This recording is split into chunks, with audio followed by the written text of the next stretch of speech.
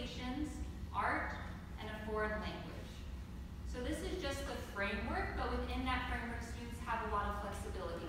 The point of the core is not just to gain certain knowledge and then check it off the list and move on.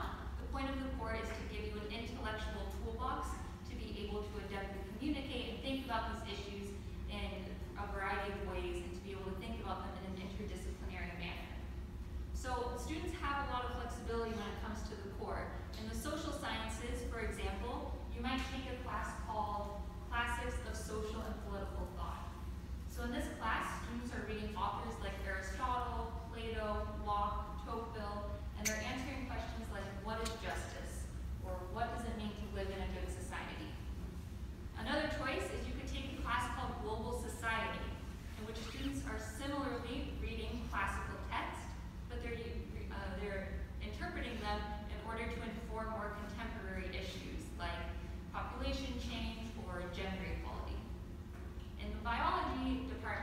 Might choose to look at some of the smallest creatures known to mankind in a class called The Public and Private Lives of Insects.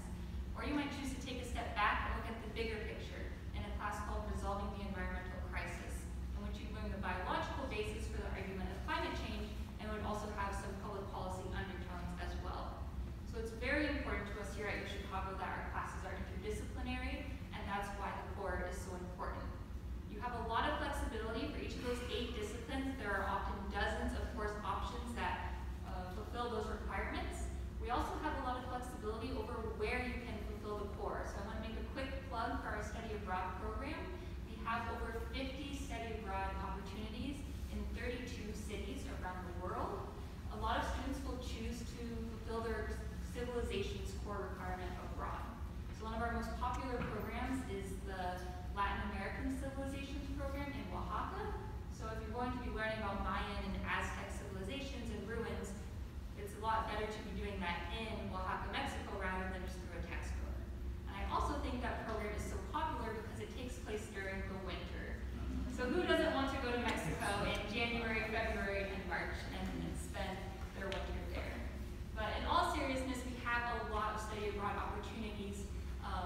50% of our students study abroad at least once during their college